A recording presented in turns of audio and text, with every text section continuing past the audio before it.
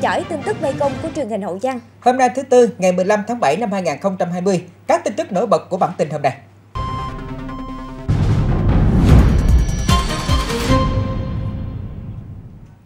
Thưa quý khán giả, ca phẫu thuật tách rời hai bé gái song sinh dính liền dùng bụng chậu đã được tiến hành tại bệnh viện Chi Đồng, thành phố Hồ Chí Minh. Đây là trường hợp hiếm gặp trên thế giới nên nhận được sự quan tâm của nhiều người. Do tính chất phức tạp của ca mổ nên đã có gần 100 y bác sĩ chia thành nhiều ekip để thực hiện trong thời gian dự kiến kéo dài hơn 12 giờ đồng hồ. Trước khi thông tin về kết quả của ca phẫu thuật, mời quý khán giả theo dõi một số tin cập nhật từ khi ca mổ bắt đầu. Từ lúc 6 giờ sáng, mọi công tác chuẩn bị cho ca mổ đã sẵn sàng. Hai bé được đưa vào phòng phẫu thuật. Đến 8 giờ 30 phút thì ekip phẫu thuật vẽ xác định đường mổ và chuẩn bị rạch da. Đến 9 giờ thì bác sĩ thực hiện đường rạch da đầu tiên để phẫu thuật tách rời cho hai bé. Tiến sĩ bác sĩ Trương Quang Định, giám đốc bệnh viện Nhi đồng thành phố, là trưởng ekip phẫu thuật đã rạch da đường đầu tiên bắt đầu cuộc mổ.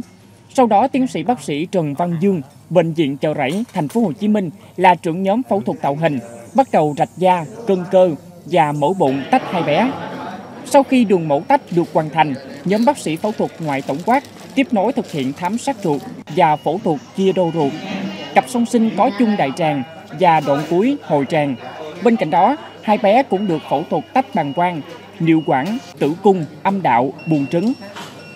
Theo bác sĩ Định, qua thám sát sau khi mổ ổ bụng, tất cả những dị vật của hai bé đều phù hợp với những dữ liệu hội chẩn trước phẫu thuật. Trong phòng mổ thì luôn duy trì nhóm 20 cho đến 30 người một ekip. Các ekip mổ sẽ thay phiên nhau thực hiện các phẫu thuật chuyên sâu. Đây được xem là một trong những ca tách song sinh khó và phức tạp bậc nhất Việt Nam. Chuẩn bị nguồn nhân lực chuyên khoa cho cuộc mổ tách dính này, ngành y tế thành phố Hồ Chí Minh đã quy động 93 nhân viên, bao gồm hơn 60 y bác sĩ, điều dưỡng và nhân viên bệnh viện Nhi đồng thành phố, cùng gần 30 chuyên gia từ các bệnh viện lớn như Nhi đồng 1, Nhi đồng 2, Chợ Rẫy, Chấn thương chỉnh hình, mắt, xuyên Á và Đại học Y Dược thành phố Hồ Chí Minh. Thông tin mới nhất chúng tôi vừa nhận được 14 giờ chiều nay, các bác sĩ đã thành công khi tách hai bé thành hai cơ thể độc lập. Sau đó, hai ekip sẽ tiến hành khép lại cơ quan nội tạng và tạo hình cho hai bé. Đây là thông tin rất vui sướng đối với gần 100 người đã và đang nỗ lực để trả lại cho hai bé một cuộc đời lành lặn như bao đứa trẻ khác. Ekip phẫu thuật của Bệnh viện Chi Đồng thành phố chia sẻ, thời điểm tách thành công hai bé, bác sĩ rung tay, trưng trưng nước mắt không thể nói nên lời. Và cảm xúc ngập tràn nhất có lẽ là ba mẹ của hai cháu. Khi thai 16 tuần, đôi vợ chồng trẻ này đã được thông báo về tình trạng dính liền của các con. Tuy nhiên, anh chị vẫn kiên định chờ tới ngày con chào đời. Anh chị đã không nén được nước mắt khi ca mổ của hai bé bắt đầu. Và giờ đây chắc chắn là một cảm xúc chở hòa khi nhận được tin tách dính thành công. Các bác sĩ nhận định đây là trường hợp hiếm hoi, chứ thành công không phải là nhiều trong y văn. Nhưng điều kỳ diệu đã xảy ra, cầu mong thần may mắn luôn ở bên gia đình và hai thiên thần nhỏ để vượt qua giai đoạn khó khăn này. Con cái luôn là tài sản vô giá của bậc làm cha làm mẹ. Cho dù có phải mất hết gia tài, thậm chí là hy sinh mạng sống để đổi lại cuộc đời cho con trẻ, đó cũng là chuyện cam tâm. Đã có nhiều câu chuyện đẹp về tình mẫu tử ở giây phút sự sống và cái chết cận kề, làm cho biết bao người lay động, nhất là đối với những người mặc áo blues trắng, luôn xem nhiệm vụ cứu người là trên hết. Và chỉ trong 15 phút thần tốc, các bác sĩ Bệnh viện Đa khoa Trung ương Cần Thơ vừa phẫu thuật thành công, cứu sống cả mẹ và con trong niềm vui mừng khôn xiết. Sáng phụ Quỳnh Thị Bích Thùy, 23 tuổi, ngụ thị xã Ngã Năm, tỉnh Sóc Trăng, mắc hai bệnh tim bẩm sinh cùng lúc. Có biến chứng tăng áp phổi rất nặng. Theo lời kể của người nhà, chị này bị tim bẩm sinh từ nhỏ, nhưng đến năm 12 tuổi, bệnh nhân không có dấu hiệu bệnh tim nên gia đình không đưa đi khám nữa. Tuy nhiên trong thời gian mang thai, thỉnh thoảng chị này có lên cơn mệt, khó thở nhưng lại bỏ qua các triệu chứng. Xác định đây là trường hợp nặng, có nguy cơ tử vong trong và sau mổ rất cao, nên các bác sĩ đã tiến hành hội chẩn bệnh viện với nhiều chuyên khoa, sản, gây mê hồi sức, nội tim mạch. Chỉ trong vòng 15 phút, ekip bệnh viện đã phẫu thuật thành công cho chị Thùy và đón một bé gái cân nặng 2 kg tư chào đời an toàn. Hiện tại sản phụ đã tỉnh, tiếp xúc tốt, đang được theo dõi và điều trị. Theo các bác sĩ, một thai kỳ ở người có bệnh tim bẩm sinh được xem là thai kỳ nguy cơ rất cao cho cả mẹ và thai nhi với tỷ lệ sảy thai, thai lưu, thai chậm phát triển, trẻ thiếu tháng, tử vong cao. Bác sĩ khuyến cáo trước khi dự định mang thai, chị em phụ nữ nên đi khám tầm soát các bệnh lý tim bẩm sinh thường quy để đảm bảo an toàn cho cả mẹ và con sau này. Chuyển sang những tin an ninh trật tự đáng chú ý. Thưa quý vị, có lẽ trong thời đại bùng nổ về công nghệ như hiện nay thì không ai tưởng tượng nổi chuyện mỗi cúp điện thoại là có giá từ 5 đến 7 triệu đồng. Thế nhưng, chuyện khó thế mà Lê Minh Sơn, 35 tuổi, nguyên đại úy cán bộ trại tạm giam công an Bình Thuận lại làm được. Sáng nay, Tòa án Nhân dân thành phố Phan Thiết đưa ra xét xử Lê Minh Sơn và Võ Ngọc Thiện, 27 tuổi, là phạm nhân đang thụ án tù tại trại tạm giam công an Bình Thuận về tội lạm dụng chức vụ quyền hạn trong khi thi hành công vụ để chiếm đoạt tài sản. Theo cáo trạng, hàng ngày Thiện được giao đi đưa cơm và vệ sinh khu vực buồng giam. Tháng 4 năm 2019, một số bị can nhờ Thiện đưa điện thoại vào buồng giam để liên lạc với người nhà. Thiện ra giá, với mỗi lần gọi điện bị can phải trả từ 5 cho đến 7 triệu đồng. Lê Minh Sơn được phân công tuần tra trong trại và đã thỏa thuận với Thiện về điều kiện giá cả. Cứ chiều tối hàng ngày, Thiện đến phía sau buồng giam gõ 3 lần làm tín hiệu. Sau đó, Thiện đưa điện thoại vào phòng giam qua lỗ thông gió cùng thông tin tài khoản để chuyển tiền. Sáng hôm sau, Thiện lấy lại điện thoại và giao cho Sơn đi sạc pin. Từ ngày 27 tháng 4 đến ngày 29 tháng 6 năm ngoái, Thiện và Sơn đã phối hợp chuyển điện thoại 18 lần vào buồng giam cho các bị can. Tổng số tiền Sơn nhận được là 91 triệu đồng, Sơn cho Thiện 10 triệu đồng. Lợi dụng kẻ hở này, ngày 28 tháng 6 năm ngoái, Nguyễn Viết Huy, tức Huy nắm độc, điện thoại ra ngoài trao đổi với Nguyễn Minh Hoàng, mua lưỡi cưa sắt cắm trong cây nem chả, ném vào buồng giam, qua lỗ thông gió phòng giam. Rạng sáng ngày 30 tháng 6 năm 2020, Huy nắm độc và Nguyễn Văn Nưng đã cưa đứt thanh sắt trong cửa thông gió buồng giam để trốn trại. Đến nay toàn bộ cán bộ ca trực để Huy nắm độc và Nưng vượt ngục đã bị xử lý kỷ luật. Vì những hành vi trên, hội đồng xét xử đã tuyên án phạt Lê Minh Sơn mức án 5 năm tù giam, Võ Ngọc Thiện lãnh án 6 năm tù. Cán bộ trại giam không trong sạch đã tiếp tay cho hai tù nhân vượt ngục khiến xã hội bất an. Trong khi bên ngoài, nhiều cán bộ chiến sĩ đang phải căng mình chiến đấu với tội phạm bởi thủ đoạn của họ ngày càng tinh vi. Tinh vi như là thủ đoạn của tội phạm mua bán ma túy hiện nay. Ngày hôm nay, Công an huyện Quảng Sương, tỉnh Thanh Hóa cho biết đang tạm giữ hai đối tượng để điều tra về hành vi mua bán tàn trữ trái phép chất ma túy. Đáng chú ý trong vụ việc này là đối tượng còn dựng bông ke, xây hàng rào thép gai để biến nhà mình thành nơi giao dịch trái phép cả chết trắng gây tại vùng quê. Theo điều tra, nhà của Nguyễn Văn Sơn là điểm bán ma túy phức tạp, tồn tại thời gian dài gây bức xúc ở vùng quê. Đặc biệt, đối tượng dùng thủ đoạn hoạt động rất tinh vi, như sử dụng con nghiện cảnh giới, chỉ giao hàng cho con nghiện quen biết qua một lỗ cửa nhỏ ở cổng. Đặc biệt, tên này còn dựng bon ke, tường rào, dây thép gai kiên cố và lắp camera xung quanh nhà. Khi phát hiện công an, đối tượng canh gác báo cho trong nhà biết để tiêu quỷ tẩu tán tan vật nên rất khó cho việc phát hiện và bắt giữ. Bằng các biện pháp nghiệp vụ, Công an huyện Quảng Sương, tỉnh Thanh Hóa đã ập vào nhà của Sơn, bắt quả tang đối tượng đang tàn trữ 4 gói heroin có trọng lượng gần 50 gram. Bắt quả tang Tuyền đang tàn trữ 7 gói heroin. Tại cơ quan công an, Tuyền khai nhận được Sơn thuê đi bán lẻ ma túy. Cảnh giới nghiêm ngặt, chỉ giao dịch qua lỗ cửa nhỏ, dù nhà luôn kín cổng cao tường vẫn không qua mắt được công an. Kẻ thu lợi bất chính gieo cái chết trắng lên vùng quê sẽ bị xử lý theo luật định. Tiếp theo cũng là một hành vi gây phức tạp xã hội. Thủ đoạn giả nhân viên thu tiền điện tiền nước thời gian qua được nhắc đến nhiều. Thì mới đây xuất hiện đối tượng giả làm nhân viên thu thuế đất để mà lừa đảo khiến người dân quan mang. Thông tin từ Công an huyện Xuyên Mộc, tỉnh Bà Rịa Vũng Tàu.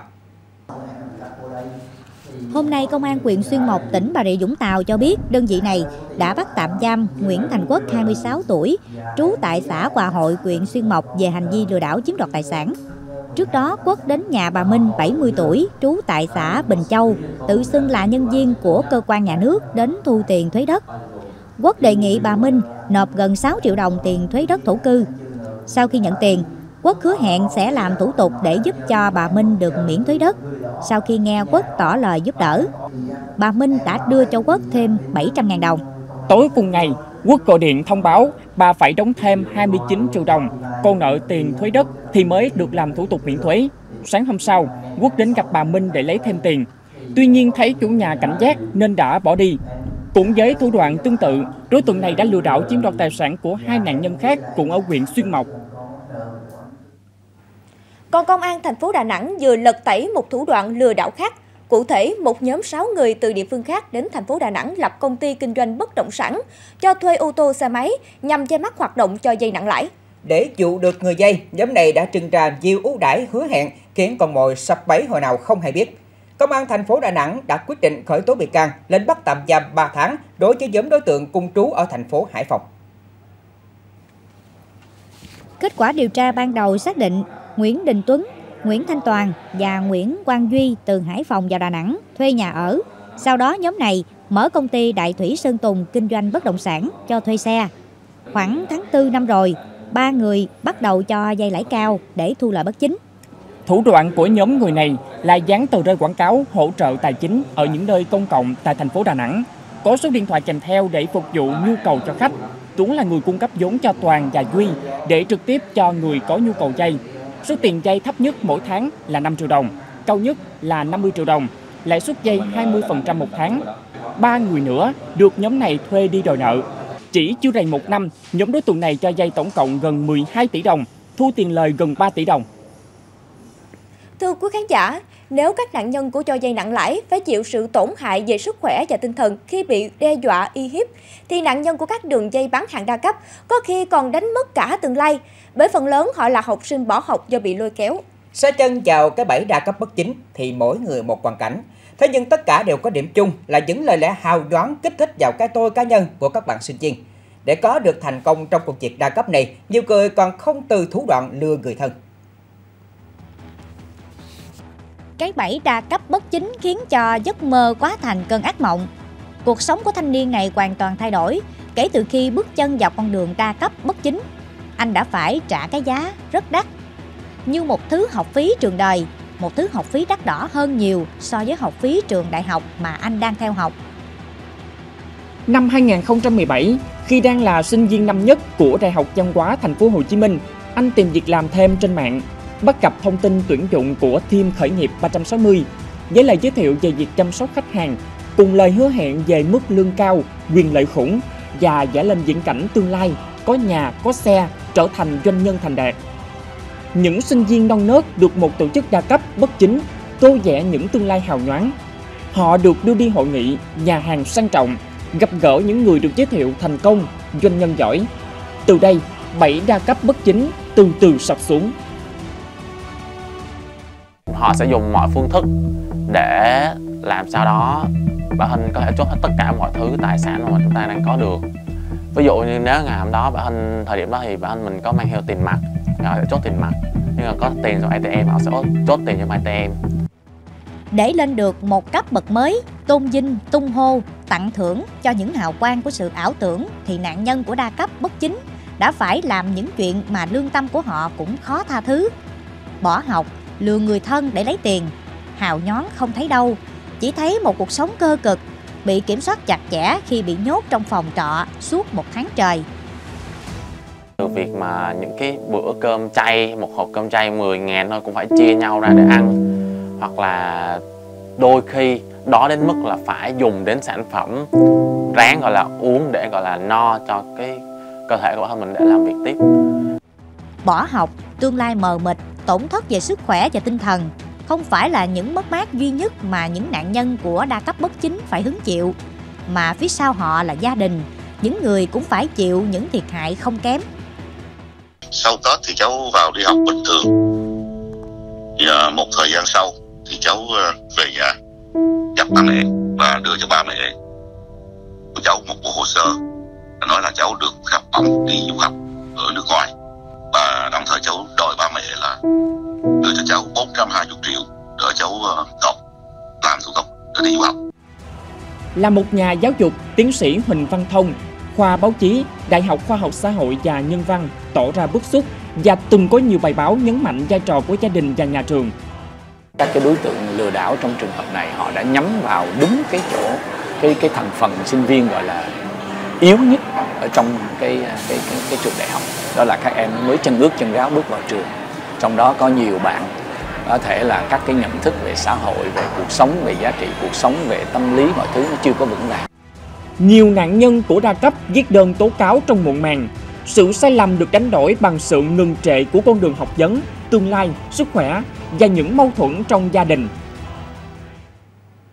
Thức tỉnh và tố cáo các hành vi đa cấp lừa đảo dù muộn màng, nhưng sự ân hận của các nạn nhân chắc chắn không bao giờ là muộn, bởi hầu hết đều còn rất trẻ, cơ hội học tập và tìm việc làm vẫn đang còn phía trước. Tuy nhiên, thật xót xa cho người cha sau đây, vì không lường trước được những nguy hiểm trong kinh doanh bán lẻ xăng dầu, mà nỗi đau nhận lại quá lớn. Lửa nó vô mà gặp xăng bán lẻ nữa nó tản ra rất nhanh, mà gặp cái đồ là giữa cháy là bốc lên. Đây không biết xịn cái giò nước này cái đổ vô nước đổ vô nào nó phật lên, nó đổ vô nó phật lên đấy con. Giờ có ân hận đến mấy thì con gái của anh Nguyễn Văn Vinh cũng không thể trở về được nữa. Chiều ngày 8 tháng 2 năm 2020, ngọn lửa phát ra từ canh xăng trong nhà anh Vinh rồi bùng cháy nhanh bao trùm toàn bộ ngôi nhà. Hậu quả con gái 5 tuổi của anh đã tử vong, toàn bộ tài sản trong nhà bị thiêu rụi. Theo kết quả điều tra, anh Vinh bán tạp hóa và có bán xăng lẻ. Tình trạng các tiệm tạp hóa lớn nhỏ có bán xăng lẻ rất phổ biến ở Bình Định. Bà Nguyễn Thị Ân ở phường Bình Định, thị xã An Nhơn đã có nhiều năm bán xăng lẻ tại nhà. Sợ kẻ gian lấy mất xăng, bà Ân để phía trước là chai nước lã, còn toàn bộ số xăng bán đều để trong nhà. Khi có người mua xăng thì bà Ân vào nhà xuất ra để bán. Đáng nói, lúc giá xăng hạ cũng như nhiều người dân khác, bà Ân còn mua xăng về tích trữ, chờ lên giá để bán kiếm lời. Trong thời tiết nắng nóng như hiện nay, chỉ cần một sơ suất nhỏ, lửa có thể bùng phát gây hậu quả khó lường. Việc chiết nạp xăng bán lẻ thường không đúng quy trình, có thể gây ra các màu sắc và hình thành nguồn nhiệt. Khách mua hàng thường không chú ý đến sự nguy hiểm, đôi lúc dẫn hút thuốc khi đang đổ xăng. Những người bán xăng ý thức phòng cháy chữa cháy thấp, chủ quan vì cho rằng đã bán lâu nay nhưng không xảy ra gì. Hậu quả của việc sang chiết xăng lẻ, trữ xăng để bán thấy rõ nhất từ vụ cháy tại nhà của anh Nguyễn Văn Vinh. Ngành chức năng tỉnh Bình Định đang rà soát tuyên truyền, kiểm tra việc mất an toàn trong công tác phòng cháy chữa cháy tại các điểm bán lẻ xăng dầu, đồng thời có hình thức xử phạt nghiêm để răng đe phòng chống cháy nổ gây hậu quả đau lòng.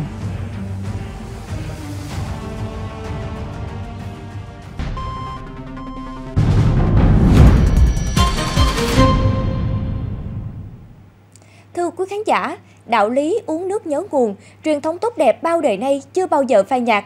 Đó cũng là cách các nghệ sĩ trẻ, những thế hệ đi sau luôn cố gắng phát huy nhằm tri ân những nghệ sĩ đã dành cả đời để cống hiến cho nghệ thuật. Nhưng về già lại phải sống trong cảnh khó khăn, không có người thân nương tựa. Đêm qua 14 tháng 7, hàng trăm nghệ sĩ, diễn viên, các nhà mạnh thường quân đã tề tụ về Viện Dưỡng lão nghệ sĩ ở quận 8 thành phố Hồ Chí Minh để thăm hỏi, động viên và trao những phần quà đến các dân nghệ sĩ đang sinh sống tại đây.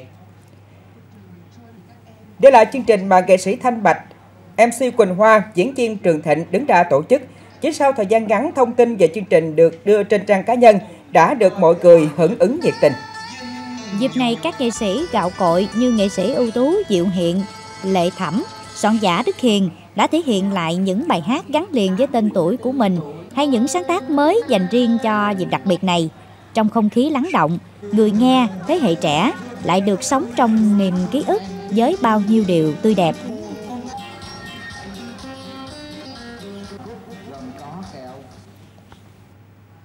Sau ánh đèn sân khấu, vận đời của nhiều nghệ sĩ rất éo le. Không như nhiều người nghĩ đến bên họ phải là cuộc sống nhung lụa. Dạ có lẽ ít ai nghĩ cái nghề xe ôm lại dành cho những người phụ nữ này. Dân, à, thưa quý khán giả, núi Cấm ở huyện Tịnh Biên, tỉnh An Giang hay còn gọi là Thiên Cấm Sơn là địa điểm du lịch quen thuộc của người dân suốt hàng chục năm qua. Tại đây, đội quân nữ xe ôm đi kiếm thêm thu nhập không ngại khó đã trở thành nét văn hóa rất riêng. Bất chấp những hiểm nguy, đường đèo dốc khó đi, thời tiết khắc nghiệt, những người con xứ núi vẫn ngày ngày cần mẫn mưu sinh.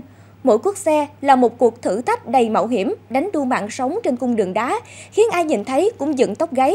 Mời quý khán giả theo dõi phóng sự độc quyền của tin tức Mekong.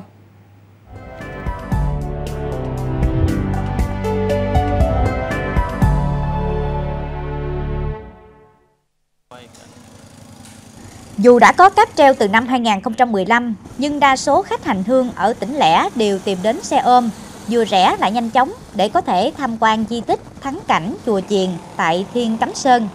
Nhu cầu đi lại ngày càng cao khiến cho những người phụ nữ tham gia vào công việc xe ôm để kiếm thêm thu nhập. Tuy là phái yếu, nhưng những vị khách ngồi sau họ đều công nhận đó là những người phụ nữ có tay lái lụa, chân thắng tay ga đều nhuần nhuyễn. Vượt qua cung đường quanh co, gấp khúc, một bên là vách đá, một bên là vực thẳm. Các tài xế nữ cũng sẵn sàng trèo đèo xuống dốc để đưa khách đến thăm các dồ và hang động của núi Cấm. Chính vì vậy, xe ôm núi Cấm được mệnh danh là cua rơ đường cong. Đối với những nữ chiến binh xe ôm, mỗi cú nhích ga, bẻ cua hay đạp cần số đều có sự tính toán cẩn thận. Người ngồi sau chỉ cần vững chắc dành sát phía sau cho thật vững vàng. Bà Mai Thị Phượng là một trong gần 200 nữ tài xế chạy xe ôm tại đây cho biết.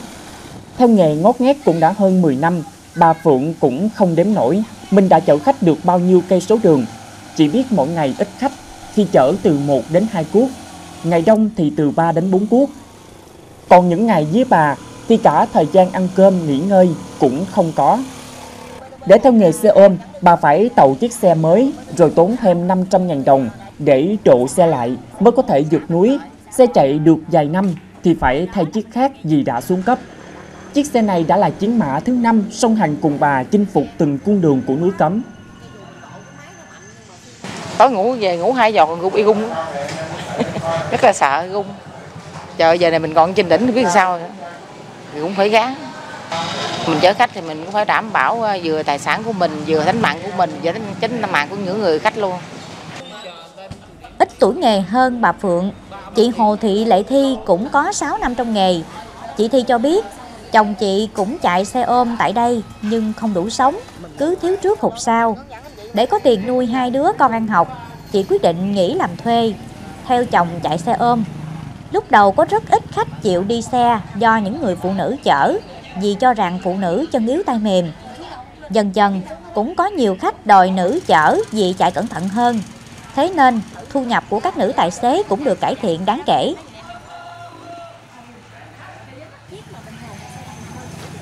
Sau tất cả những cuộc xe ôm, dù là chạy đường tắt hay đường thẳng, thì vẫn luôn tiềm ẩn hiểm nguy rình rập.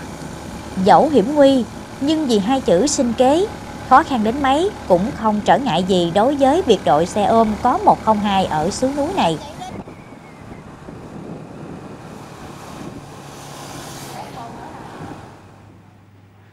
Những nữ xe ôm đặt sự an toàn lên trên hết. Họ đã tìm ra cách để có thể duy trì và tồn tại với công việc kiếm thêm thu nhập này. Chúc các chị luôn khỏe mạnh và an toàn với nghề mình đã chọn.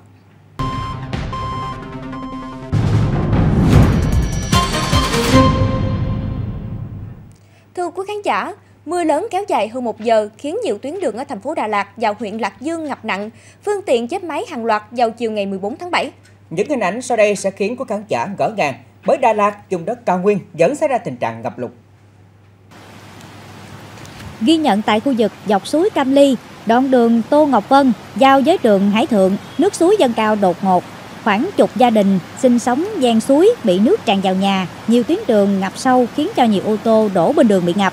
Tình trạng ngập úng cục bộ cũng xảy ra tại các tuyến đường khác tại Đà Lạt như Cách mạng tháng 8, Tràng Trình, Dương Văn Hoàng, Ngô Văn Sở khiến giao thông đi lại khó khăn. Sau hơn một giờ, hầu hết các điểm bị ngập cục bộ, nước đã rút, sinh hoạt của người dân và du khách cơ bản trở lại bình thường. Tiếp tục là một chuyện lạ. Cho đến tận ngày hôm nay, khi mà bệnh nhân chuẩn bị xuất viện, các bác sĩ bệnh viện chợ rẫy tại thành phố Hồ Chí Minh vẫn không hiểu gì sao cây tăm xỉa răng dài gần 10 cm lại có thể lọt vào tim của một bệnh nhân. Theo bác sĩ Nguyễn Thái An, trưởng khoa hồi sức phẫu thuật tim bệnh viện chợ rẫy, cái khó của ca này là ở khâu chẩn đoán. Vì que tâm không có phản quang nên chụp CT scan không thể phát hiện được. Sau khi cấy máu cho kết quả nhiễm nấm siêu âm tim cho thấy một dị vật hình que trong buồng tim, cắm vào chất tim và lá van. Các bác sĩ khẳng định trường hợp này que tâm không thể đi từ đường miệng mà đi bằng đường máu rồi chui vào tim, lâu ngày thành dị vật tim. Tin tức Mekong hôm nay đến đây xin được tạm dừng. Cảm ơn quý khán giả đã quan tâm theo dõi. Kính chào và hẹn gặp lại trong chương trình ngày mai.